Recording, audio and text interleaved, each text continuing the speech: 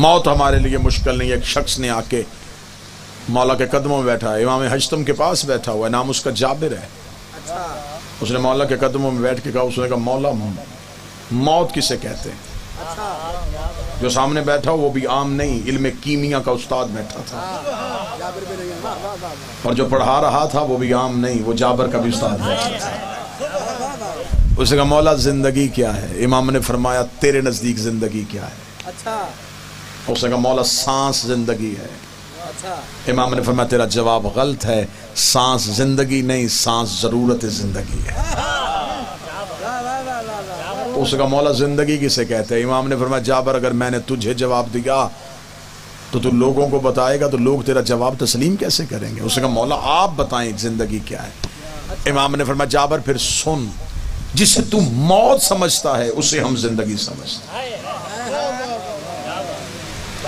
جو سن رہے ہیں یا جن تک آواز جا رہی ہے جو ذہنی طور پہ مجلس میں میں اتنا بہترین امام کی زبان سے موت سنانے لگا ہوں، آپ کو موت سے محبت ہو جائے میں نے موت کے ٹاپک پہ گفتگو ہوتے ہوئے لوگوں کو خاموش ہوتے دیکھا ہے۔ آج میں چاہوں گا کہ میں پڑھوں موت اور آپ داد دیں۔ میں موت پڑھوں تو آپ کے چہرے مسکرائیں۔ میں موت پڑھوں اور آپ کے دل میں حسرت پیدا ہو کہ کاش ہم بھی ایسے مریں۔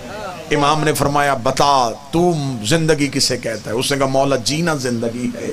امام نے فرمایا، نہیں، جسے تم موت سمجھتا ہے، اسے ہم زندگی سمجھتے ہیں۔ اس نے کہا، مولا، اس کی کوئی دلیل؟ امام نے فرمایا، جابر، تو مجھے بتا، جب تو دنیا میں آیا تو تو کیا کر رہا تھا؟ اس نے کہا، مولا، صرف میں نہیں، جو بھی آتا ہے، روتا ہے۔ امام نے کہا، رونے کی وجہ کیا ہے؟ اس نے کہا، مولا، اس وقت تو شعور کام نہیں کرتا، ہمیں کیا پتا ہم کیوں رو رہے تھے؟ امام نے فرمایا، ہم تمہیں بتاتے ہیں تم کیوں رو رہے تھے؟ اس لیے تم رہتے تھے شکم مادر میں، تم رہتے تھے ماں کے پیٹ میں۔ تم سمجھتے تھے کل کائنات یہی ہے۔ تم سمجھتے تھے کل کائنات یہی ہے۔ جب تم شکم مادر سے نکل کے اس دنیا میں آئے، تم نے گھبرا کے رونا شروع کر دیا۔ تم نے سمجھا کہ تم مر رہا ہے۔ تیرے گھر والے خوش ہو رہے تھے کہ تم پیدا ہو رہا۔ ہے امام نے فرمایا جابر اب یاد رکھنا، جیسے اس دنیا کے سامنے شکم مادر کی حیثیت ہے، ایسے اس عالم کے سامنے اس دنیا کی حیثیت ہے۔ جب تو یہاں سے ادھر منتقل ہوتا ہے، ادھر والے رو رہے ہوتے ہیں کہ تم مر رہا ہے، ادھر والے خوش ہو رہے ہوتے ہیں کہ اب زندہ ہو رہا۔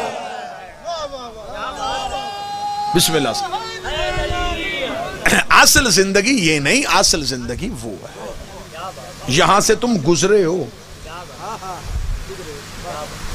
یہ تو ایک پلیٹ فارم ہے جہاں پہ ہم بیٹھے ہیں۔ کسی کی ٹرین آ چکی ہے اور کسی کی ابھی آ رہی ہے۔ سمان سو برس کا۔ کی خبر۔